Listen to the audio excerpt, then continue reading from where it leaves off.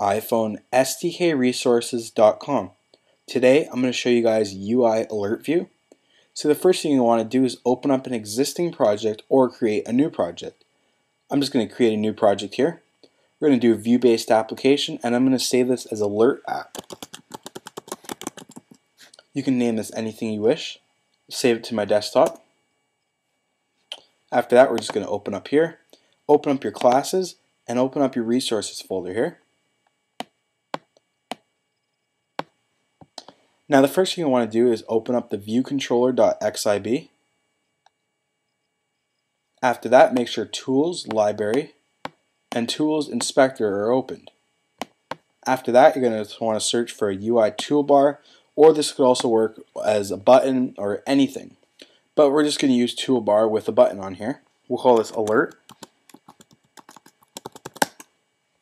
Now next thing you want to do is just save this, go back in Xcode, and we're going to want to go into the viewcontroller.h.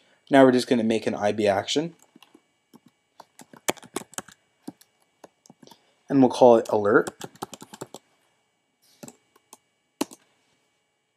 Save it. Go back into the viewcontroller.xib.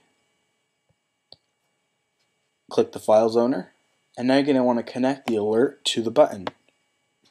After that, now everything in Interface Builder is done, press Save, Interface Builder quit.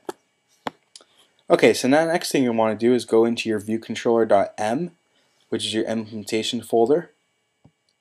Now we're going to need to declare the IB action, so IB action. We're going to want to call this alert. Now we're going to do curly bracket, space, space, curly bracket. In between here, we're just going to make two lines, and I'm going to paste in some code.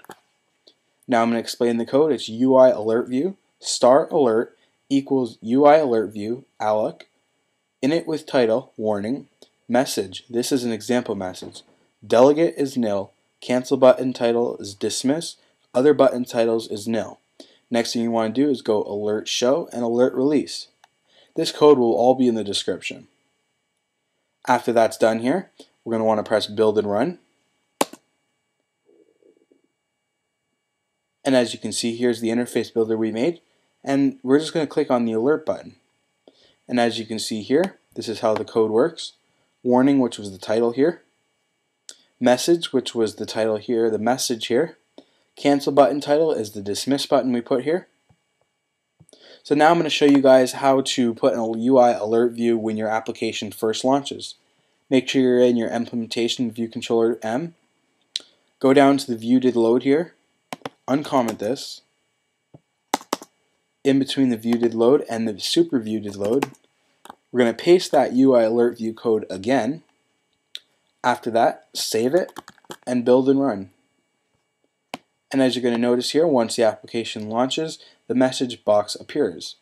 Press dismiss, and since we have the code from before that when it's on the button, you just press this and the UI alert view pops up. This has been Dan from iPhoneSDKResources.com. Please visit iPhoneSDKResources.com slash support to request any iPhone SDK tutorial. Thanks for watching. Please comment, rate, and subscribe.